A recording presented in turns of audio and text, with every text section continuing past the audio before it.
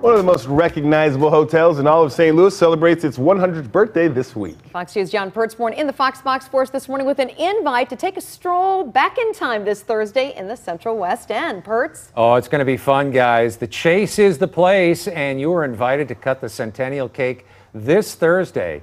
I've got uh, Frederick Huben. He's Director of Sales and Marketing at the Chase Park Plaza Royal Sonesta. Good morning. Thanks so much for coming in. Oh, absolutely, John. Thank you for having me. This sounds great. A, a 100 year party. It's been in the making since what, 1922? 1922, September 29th to be specific. That's when the Chase opened its doors. Yeah, give, give a little bit of history, if you would, a little background. Well, the Chase again opened up uh, on uh, September 29th, 1922. The Park Plaza opened seven years later. Uh, in the 50s, the, both buildings were combined into one. And that's truly when history started happening at the Chase. We had wrestling at the Chase. We had the Rolling Stones at the Chase, the Rat Pack. Uh, Elvis. Elvis.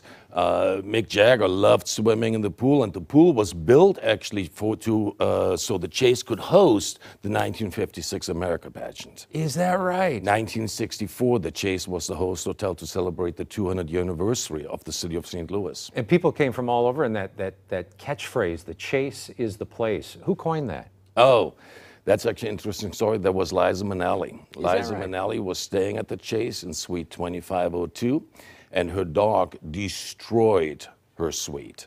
And versus her paying for the damage, she opted to do, uh, make free commercials for the Chase, and that's what Chase is the place was That's great. Her mom, Judy Garland, also stayed at the Yep. Chase. So, I mean, a lot of famous people. You can be one of the famous people Thursday night. The fun starts at 7 o'clock, $99 a ticket. That is what do they get for that? For $99 a ticket, number one, you're going to get beautiful entertainment. We're going to have jazz music. We'll also have a Rat Pack tribute band coming in from Vegas.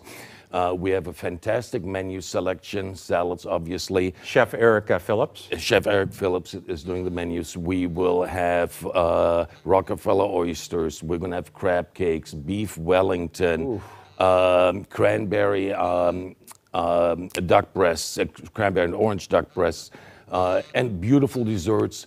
Great people. The mayor shall be present.